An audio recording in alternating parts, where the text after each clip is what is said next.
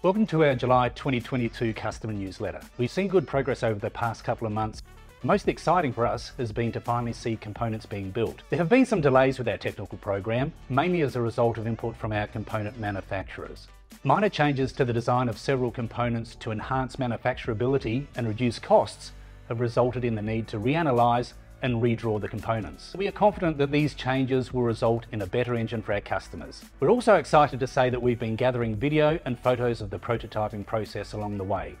And I'd like to announce that we will be releasing a YouTube series titled Cutting Metal in the near future. This will allow our community to join us in viewing these exciting advances. Keep an eye out for this on our YouTube channel. It's only a few weeks until Oshkosh and our team has been working hard to deliver an exciting new display that visitors to our booth should find really interesting. We will be releasing more information about that on the 18th of July. So make sure that you are following us on our socials and stay subscribed to our updates so that you don't miss the announcement. If you can't attend Oshkosh, there are other ways you can stay up to date.